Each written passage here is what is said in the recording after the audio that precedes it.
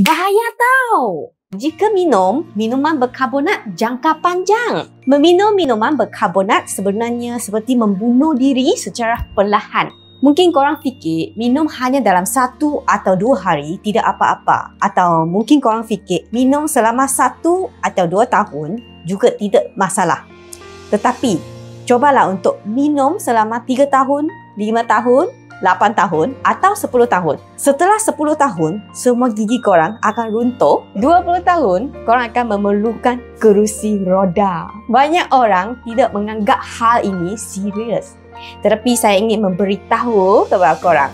Bayangkan bahawa minuman ini hanya setitis air dan tubuh kita adalah batu besar. Setelah 3 tahun, minuman tersebut akan menembus kulit dan setelah 10 tahun, akan menembus hati tau. Bayangkan jika 30 tahun, macam mana?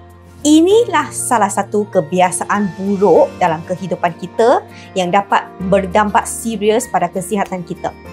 Seperti bunuh diri secara perlahan. Satu hari nanti, korang akan tiba-tiba menyendari, Aduh, ternyata inilah ujung hidupku. Oleh kerana itu, saya ingin memberitahu korang segera mengubahkan kebiasaan buruk ini dalam hidup korang.